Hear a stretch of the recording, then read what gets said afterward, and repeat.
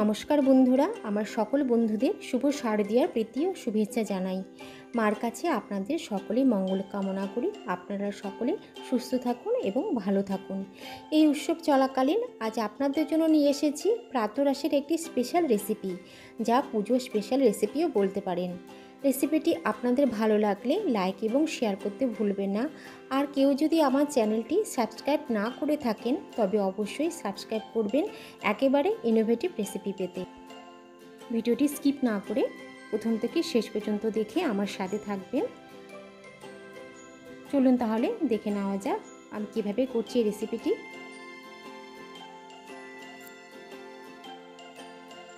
আমি এখানে দু লিটার দুধ নিয়েছি।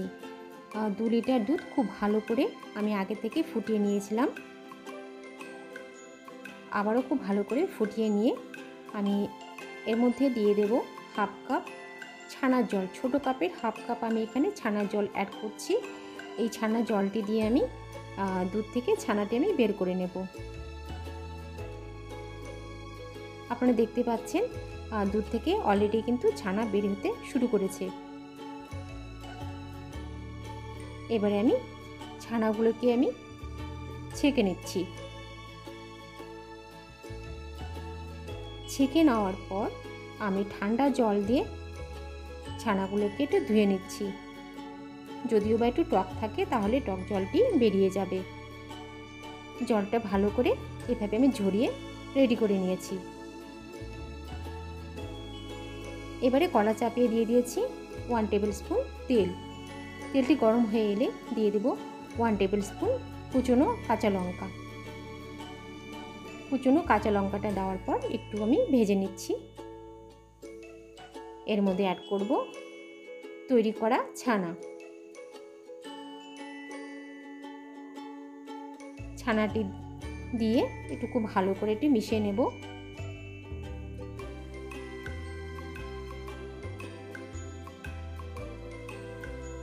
মিশিয়ে নেওয়ার পর একে একে আমি সব মশলাগুলি অ্যাড করব।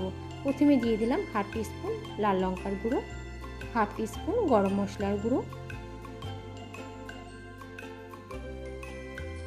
ওয়ান টিস্পুন আদার পেস্ট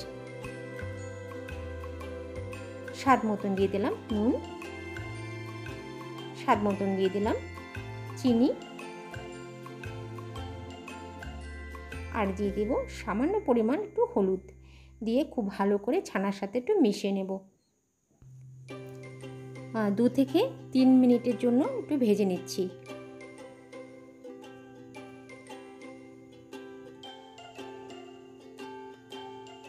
দু থেকে তিন মিনিট আমি ভালো করে ভেজে নিয়েছি। এর মধ্যে অ্যাড করব টু টেবিল স্পুন কোরানো নারকোল। আর দিয়ে দেব টু টেবিল স্পুন কুচনো ধনিয়া পাতা। দিয়ে খুব ভালো করে মিশিয়ে নেব।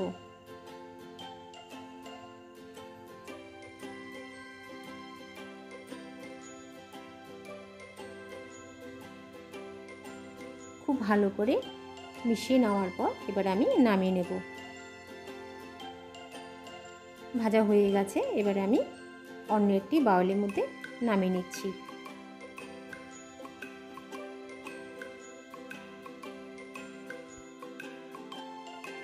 তাহলে এদিকে আমার পুরটি তৈরি হয়ে গেল। এবারে আমি আগের থেকে দু কাপ ময়দা আর টু টেবিল স্পুন সাদা তেল আর স্বাদ মতন নুন দিয়ে খুব ভালো করে মিশিয়ে নিয়ে সফট একটি ডো আমি আগের থেকে তৈরি করে রেখেছি। এবারে এই ডো থেকে আমি লেচি সমান সাইজের কেটে নেব।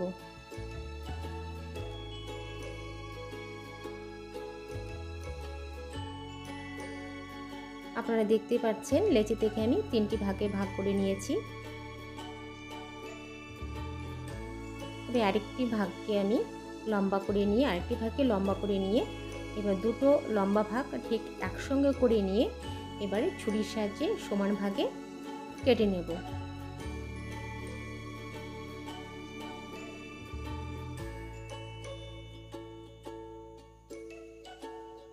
তাহলে প্রত্যেকটি সাইজই ঠিক একই মাপেরই হবে। এবারে এক একটি লেচির ভেতরে আঙ্গুলের সাহায্যে ছোট বাটির মতন তৈরি করে নিয়ে মানে গোল করে নিয়ে ছানার যে আমি পুটটি তৈরি করেছি, সেই পুটটি আমি ভরে নেব। আমি আগে বাটির আকারে তৈরি করে নিলাম।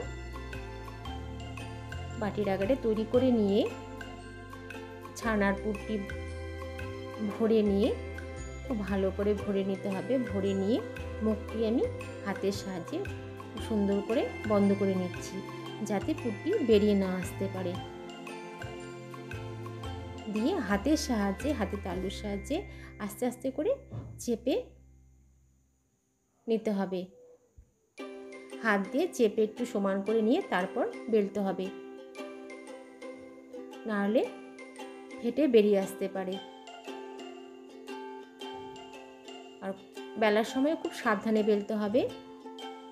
আলতো আলতো করে নিয়ে বেলে নিতে হবে।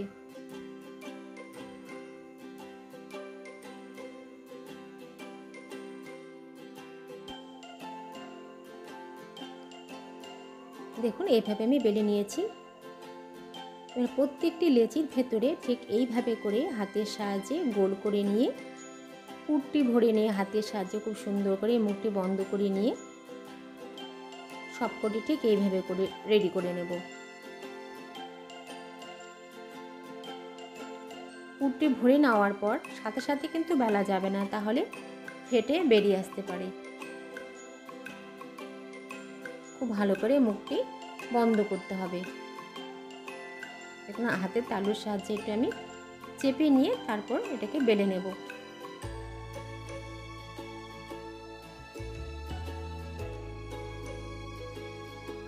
তাহলে সবকটি আর লিচির ভেতরে ঠিক এইভাবে করে ভরে নিয়ে, বেলে নিয়ে আমি রেডি করে নিচ্ছি।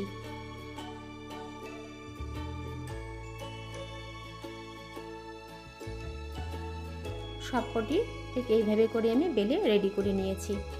দেখতে পাচ্ছেন বন্ধুরা, একটাও কিন্তু আমার ফাটেনি, খুব সুন্দরভাবে বেলে নিয়েছি। এবারে লো টু মিডিয়াম ফ্লেমে রেখে আমি এগুলোকে লাল করে ভেজে নেব। আমি তেল আগে থেকে গরম করে নিয়েছি।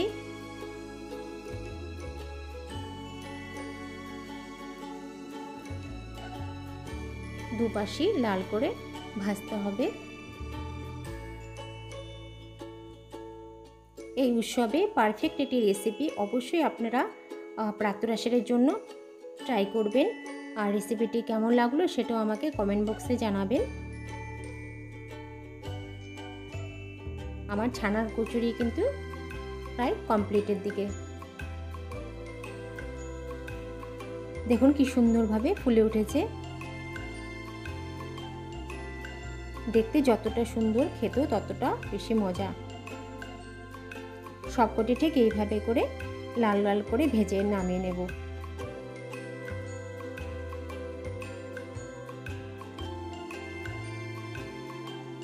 এই পুজোর কদিনে আপনারা সকালে কিন্তু ট্রাই করতে পারেন বিশেষ করে অষ্টমী পুজোর দিন আপনারা অবশ্যই ট্রাই করবেন।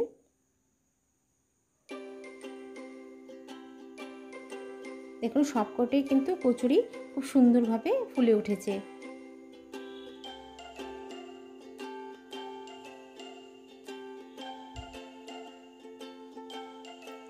ছানার কচুরি আমি তৈরি করে নিয়েছি।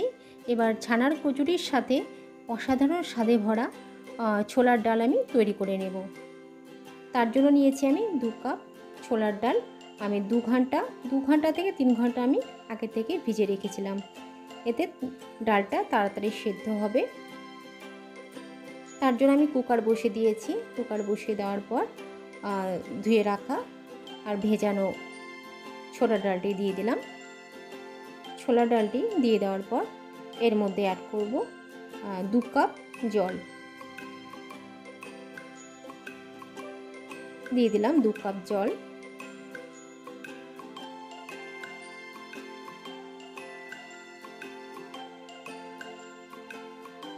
দিয়ে দিলাম স্বাদ মতন নুন। দিয়ে দিব সামান্য পরিমাণ হলুদ। আর দিয়ে দিব গোটা কয়েক কাঁচা লঙ্কা। দিয়ে এবার ঢাকনাটি বন্ধ করে দেব। ঠিক একটা হুইসেল পড়ার পর আমি ঢাকনা খুলে নেব। একটা হুইসেল পড়ার পর আমি ঢাকনা খুলে নিলাম। আপনারা দেখেই বুঝতে পারছেন, ডালটি কিন্তু খুব সুন্দরভাবে সেদ্ধ হয়েছে। আর আমি কিন্তু ডালটি পুরোপুরি সেদ্ধ করিনি আর খুব গলেও যায়নি। আপনারা দেখেই বুঝতে পারছেন, ডালগুলি সেদ্ধ হয়ে গেছে। এবারে দিয়ে দিলাম টু টেবিল স্পুন তেল। তেল গরম হয়ে যাওয়ার পর দিয়ে দিলাম দুটো তেজপাতা ছিঁড়ে দিয়ে দিয়েছি আর দিয়ে দেব চারটে শুকনো লঙ্কা। আর দিয়ে দেব হাফ টিস্পুন গোটা জিরে। দিয়ে একটু ভেজে নেব।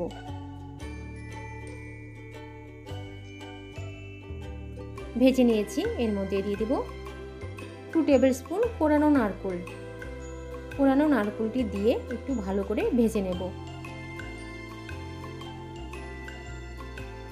খুব ভালো করে ভেজে নেওয়ার পরে দিয়ে দিব ওয়ান টেবিল স্পুন আদার পেস্ট দিয়ে দিব ওয়ান টেবিল স্পুন জিরার পেস্ট দিয়ে দিব হাফ টিস্পুন গরম মশলার গুঁড়ো। আর দিয়ে দেব হাফ টিস্পুন হলুদ গুঁড়ো। আর দিয়ে দেব সামান্য পরিমাণ লাল লঙ্কার গুঁড়ো। এই ডাল একটু মিষ্টি মিষ্টি খেতে ভালো লাগে। তার জন্য দিয়ে দিলাম হাফ টিস্পুন চিনি। দিয়ে খুব ভালো করে মশলাগুলি কষিয়ে নেব। ঝালের পরিমাণটা আপনারা আন্দাজ বুঝিয়ে দেবেন, তবে লুচির সঙ্গে খেতে বা কচুরির সঙ্গে খেতে এই ডাল একটু মিষ্টি মিষ্টি খেতে ভালো লাগে। মশলাগুলি ভালো করে কষিয়ে নিয়ে সেদ্ধ করা ডালগুলি আমি দিয়ে দিলাম। আমি যেভাবে করছি, ঠিক এইভাবে আপনারা অবশ্যই ট্রাই করবেন।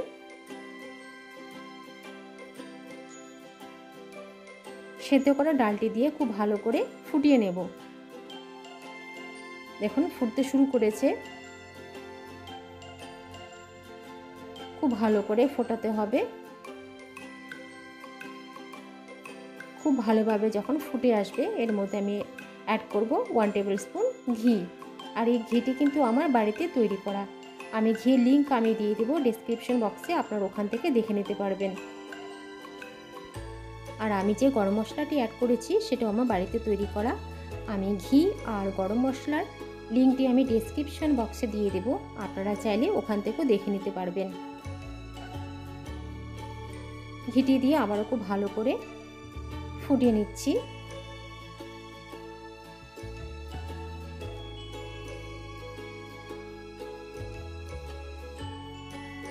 ডালটি আমার অলমোস্ট কমপ্লিটের দিকে। এবার আমি ওভেনটি অফ করে দিয়ে এর মধ্যে দিয়ে দেব ওয়ান স্পুন কাসুরি মেথি। কাসুরি মেথিটি আমি হাতের সাহায্যে একটু ঘষে নিয়ে দিয়ে দিলাম। এতে ফ্লেভারটা খুব ভালো হয়। অবশ্যই আপনারা রেসিপিটি ট্রাই করবেন। আর এই উৎসবটি আপনারা খুবই আনন্দের সাথেই কাটান। সবাই খুব ভালো থাকুন, সুস্থ থাকুন। আবার আসছে আমার নতুন কোনো রেসিপি নিয়ে সবাই খুব ভালো থাকুন।